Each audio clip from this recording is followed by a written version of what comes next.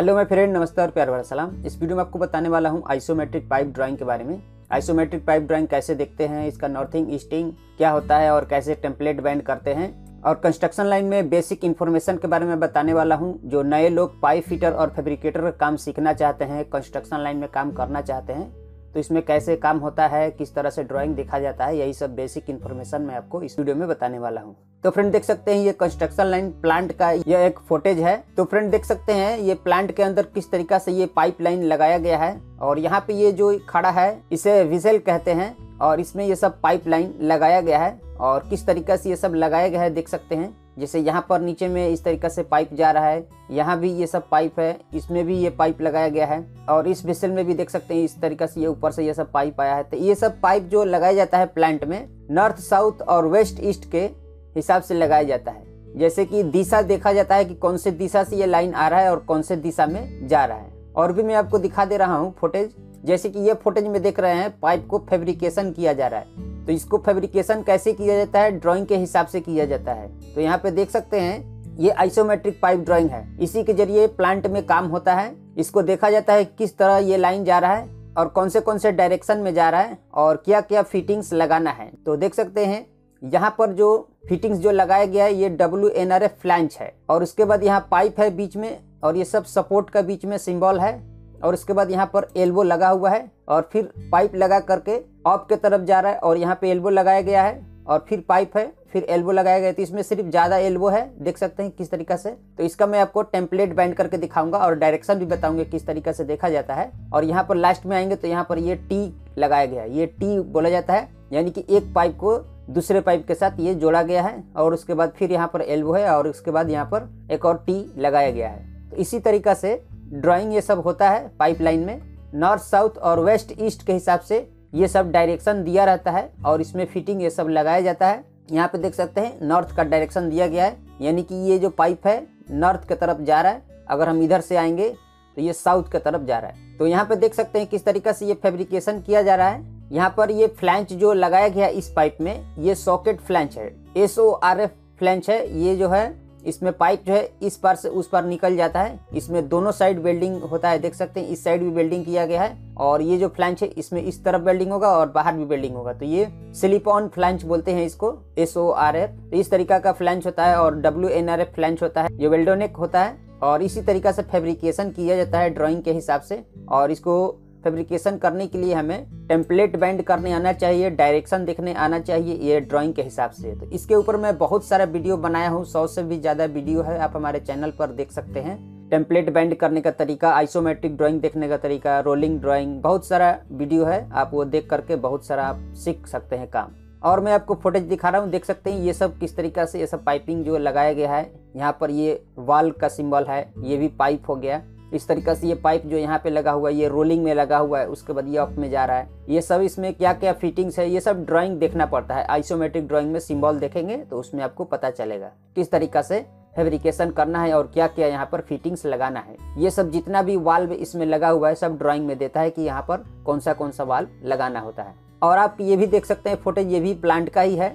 यहाँ पर ये जो पाइप में लेटरल ब्रांच यहाँ पे लगाया गया है और यहाँ से माइटर कटिंग बनाकर यहाँ पर बैंड बनाया गया है और ये लाइन ऐसे डाउन हो रहा है। और ये बिग बोर्ड आया है ये सब, देख सकते हैं, ये सब डिग्री में पाइप फिटिंग किया गया है। और माइटर में ये सब फिटिंग किया गया है कटिंग करके तो ये सब माइटर तो वो भी हमारे चैनल पर आपको ये सब वीडियो मिल जाएगा कि इस तरीका का माइटर बैंड कैसे बनाते हैं, इसका फॉर्मूला क्या है, ये सब भी आप हमारे चैनल पर देख सकते हैं, बहुत सारे वीडियो है। जैसे कि यह फुटेज में आप देख सकते हैं, ये सब अलग अलग साइज़ में ये सब पाइपलाइन गया हुआ है। इस पाइपलाइन में देख सकते हैं, बिल्कुल ऑफ़ जा करके और सीधा इस तरीका से दूसरे डायरेक्शन में मुड़ रहा है। जैसे कि ये लाइन जो है, मान लीजिए नॉर्थ में इस तरीके से गया और ऑफ़ हुआ और ऑफ़ होकर के ये लाइन ऐसे ईस्ट में जा रहा है। तो इस तरीका से ये सब जितना लाइन ये सब ईस्ट में जा रहा है, लेकिन यहाँ पर रोलिंग भी है, देख सकते हैं ये सब रोलिंग में है, और यहाँ पे एक रिड्यूसर भी लगा हुआ है, यहाँ पर एक ब्रांच लगा करके ऑफ़ हो रहा है और ईस्ट में जा रहा है। तो इस तरीका से यार ड्राइंग देखेंगे।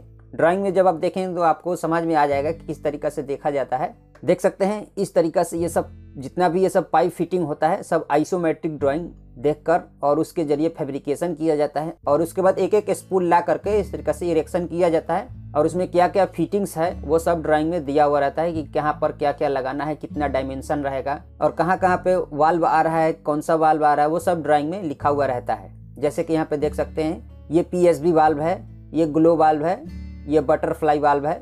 यहाँ पर ये ग्लो वाल्व या गेट वाल्व यहाँ छोटा सा दिया गया है, जो एक इंच का है।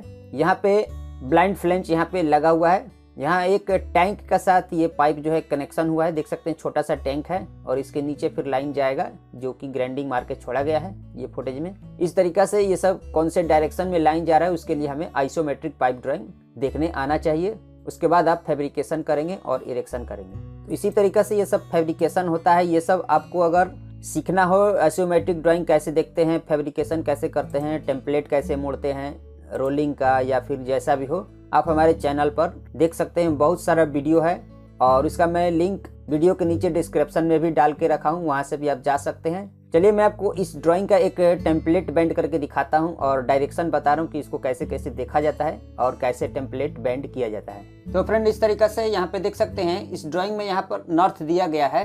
तो फ्रेंड हम यहाँ से डायरेक्शन देखना शुरू करेंगे। तो यहाँ से ये लाइन नॉर्थ की तरफ़ जा रहा है। तो इस तरीके से अपने सामने हमेशा नॉर्थ मानेंगे और इधर साउथ और इधर वेस्ट और इधर ईस्ट मानेंगे। तो हमारे सामने नॉर्थ है। इस तरीके से हम नॉर्थ की तरफ़ इसे टेम्पलेट ऐसे पकड़ेंगे। ये नॉर्थ चला गया और उसके बाद यहाँ पर एल्बो लगा करके अप हो रहा है। तो यहाँ पर एक हम एल्बो लगाएँगे और अप कर लेंगे। इस तरीके से ये लाइन अप के तरफ़ जा रहा है। यहाँ पे देख सकते हैं, इस ड्राइंग में यहाँ से ये एल्बो लगा करके अप के तरफ़ जा रहा है। और उसके बाद फिर एक एल्बो लगा करके नॉर्थ के तरफ़ ये लाइन जा रहा है। एक और यहाँ पर हम एल्बो इस तरीके से बनाएँगे और ये नॉर्थ के तरफ़ ऐसे बैंड करेंगे। इस तरीके से ये नॉर्थ गया और उसके बाद यहाँ पर एक एल्बो लगा करके ये लाइन ईस्ट के तरफ़ जा रहा है। देख सकते हैं, इधर वेस्ट हो गया और इधर ईस्ट ये लाइन ईस्ट के तरफ़ जा रहा है। तो यहाँ पर एक एल्बो लगाएँगे फिर से इस तरीका से और ऐसे ईस्ट में बैंड करेंगे। ये ईस्ट के तरफ़ आ गया, इधर ईस्ट हो गया और ईस्ट आने के बाद यहाँ पर एल्बो लगा करके ये लाइन नॉर्थ की तरफ़ जा रहा है। तो यहाँ पे देख सकते हैं इधर नॉर्थ है ये नॉर्थ इस तरीके से गया। तो यहाँ पर हम एक और एल्बो बनाएँगे और नॉर्थ की तरफ़ हम बेंड कर लेंगे इस तरीके से, देख सकते हैं। इसके बाद यहाँ नॉर्थ से एक एल्बो लगा करके ये लाइन ईस्ट में बेंड हो रहा है। इसके बाद एक और यहाँ पर एल्बो लगा करके ईस्ट की तरफ़ बेंड कर लेना है इस तरीका से, देख सकते हैं। इस तरीका से एक और एल्बो लगा करके ये ईस्ट की तरफ़ चला गया। यहाँ से ये लाइन एल्बो लगा के ईस्ट गया और उसके बाद एक और एल्बो लगा करके यहाँ से ये लाइन ऑफ़ की तरफ़ जा रहा है। तो यहाँ पर एक और हम एल्बो लगा करके अप के तरफ़ कर लेंगे। इस तरीका से ये अप चला गया। देख सकते हैं किस तरीके से ये टेम्पलेट मुड़ रहा है। ऐसे ही आपको टेम्पलेट मोड़ना है। और इतना जो ये लाइन है अलग अलग पार्ट में बनता है, एक ही में नहीं बनता है कभी भी। जैसे कि यहाँ से लेकर के यहाँ तक एक स्पूल बन गया और यहाँ से लेकर के एक यहाँ तक स्पूल बन गया और यहाँ से लेकर के यहाँ तक एक अलग स्पूल बन गया। तो ऐसे बनाया जाता है। और ये अप होने के बाद, उसके बाद यहाँ से ये लाइन फिर से नॉर्थ की तरफ़ यहाँ पर मुड़ रहा है। तो यहाँ पर एक और हम एल्बो लगा करके नॉर्थ के तरफ़ मुड़ेंगे और उसके बाद एल्बो लगा करके ये लाइन अप के तरफ़ मुड़ रहा है। तो यहाँ से एक और एल्बो लगा करके हम अप के तरफ़ मुड़ेंगे। तो फ्रेंड देख सकते हैं, यहाँ से ये लाइन अप के तरफ़ गया और अप जाने के बाद यहाँ पर एक टी बन रहा है और टी का डायरेक्शन दे रहा है ये एक नॉर्थ के तरफ़ और एक साउथ के तरफ़। तो यहाँ पर हम क्या करेंगे, इस तरीके से एक टी का डिज़ाइन में हम बना लेंगे। देख सकते हैं, एक नॉर्थ चला गया और एक ये साउथ की तरफ़ आ गया और उसके बाद यहाँ पर एक एल्बो लगा करके ये लाइन ईस्ट की तरफ़ मुड़ रहा है और यहाँ भी एक टी का सिंबल दिया गया है। तो इस तरीके से हम ईस्ट की तरफ़ बेंड करेंगे। तो फ्रेंड देख सकते हैं, यहाँ पर जो ये छोटा छोटा ये सब दिया गया है, यहाँ से ये अप हुआ और अप होने के बाद ये टी का डायरेक्शन एक नॉर्थ में है और एक साउथ में गया है। तो यहाँ से ये लाइन अप हुआ और एक टी का डायरेक्शन नॉर्थ में चला गया और एक साउथ में आया इस तरीके से। और उसके बाद यहाँ पर एल्बो लगा करके ये लाइन ईस्ट में जा रहा है। और यहाँ पर एक टी लगाया गया है, जिसका एक टी का ये जो डायरेक्शन है साउथ में रहेगा इस तरीका से। यहाँ पे देख सकते हैं, ये टी जो लगा हुआ है, ये साउथ में इसका डायरेक्शन दे रहा है। तो इस तरीका से इसका टेम्पलेट बेंड करना है। देख सकते हैं, ये किस तरीके से मैं बेंड किया हूँ। थोड़ा सा मैं इसको क्रॉस में करके आपको दिखा रहा हूँ, ताकि आपको थोड़ा पूरा जो है टेम्पलेट दिखाई दे। देख सकते हैं, इस तरफ़ से भी देख सकते हैं, इस तरीका से ये लाइन रहेगा। फिर से हम इसका डायरेक्शन देख लेते हैं, दूसरे पोजिशन पे रख के।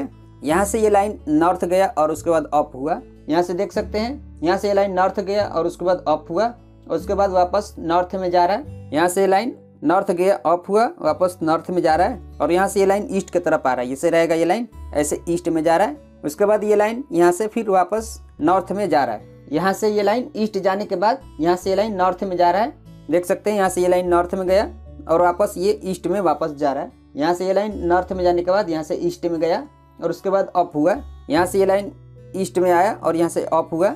ऑफ़ होने के बाद वापस ये लाइन ऐसे नॉर्थ में जा रहा है। देख सकते हैं ये लाइन नॉर्थ में जा रहा है, ऐसे रहेगा तो ये लाइन नॉर्थ में जाएगा। यहाँ से ये लाइन नॉर्थ में जा रहा है और उसके बाद यहाँ से ये ऑफ़ हुआ। यहाँ से ये ऑफ़ हुआ। ऑफ़ होने के बाद यहाँ पर एक टी लग रहा है जिसका ये डायरेक्शन नॉर्थ में है और एक डायरेक्शन साउथ में है। और यहाँ पर एल्बो लगा करके ये लाइन ईस्ट में जा रहा है। इस तरीके से ये ईस्ट में आया। और यहाँ पर एक टी लगाया गया है। एक फेस साउथ की तरफ़ और एक फेस ईस्ट की तरफ़। तो इस तरीके से इसका टेम्पलेट बैंड किया जाता है और डायरेक्शन देखा जाता है। देख सकते हैं? तो इस तरीका से आप एक साथ पूरा टेम्पलेट बैंड कर लेंगे और इसको अलग अलग पार्ट बाई पार्ट में फेब्रिकेशन करेंगे।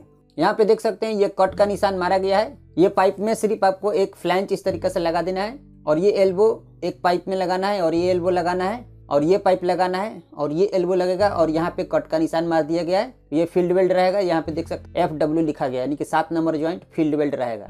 यानी कि प्लांट के अंदर उसे वेल्डिंग किया जाएगा, उसी को फ़ील्ड वेल्ड कहते हैं। और यहाँ से लेकर के और यहाँ तक एक स्पूल रहेगा।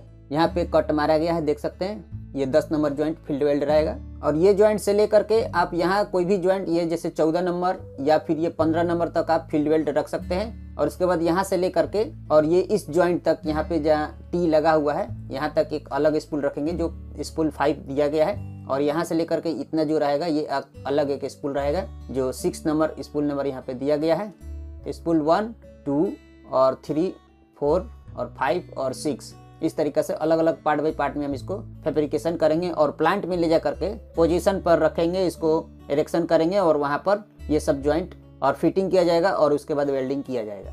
यहाँ पे ये जो सिंबल दे रहा है, ये जो है प्लेटफॉर्म के ऊपर निकल रहा है, जो ग्रेटिंग होता है जाली, उसके ऊपर ये निकल रहा है, ये जाली का सिंबल है। तो इसी तरीका से ये लाइन देता है और इसमें यहाँ पर ये जो नंबर सब लिखा गया है ये ये अगला ड्राइंग का नंबर है जिस लाइन में ये कनेक्शन हो रहा है। और यहाँ पे ये जो ईस्टिंग नर्थिंग और एलिवेशन लिखा गया है, इसी के हिसाब से हमें पहचाना जाता है कि ये लाइन प्लांट के अंदर किस जगह आ रहा है? कितनी दूरी पर आ रहा है? नॉर्थ से कितना दूरी पर है? ईस्ट से कितना दूरी पर है? हम कॉलम से चेक करते हैं और ये एलिवेशन देखते हैं कि कितनी ऊंचाई पर है। और बाकी लाइन नंबर दिया गया है कंटिन्यूशन नंबर यानी कि कौन से ड्राइंग में ये कनेक्शन होगा, कौन से लाइन में कनेक्शन होगा, सभी जगह का अलग अलग दिया गया है। देख सकते हैं, यहाँ का अलग कंटिन्यूशन नंबर रहेगा और ये टी वाला जो ज्वाइंट है, ये अलग कंटिन्यूशन नंबर रहेगा। दोनों का अलग अलग दिया गया है, ये ये वाला और ये वाला।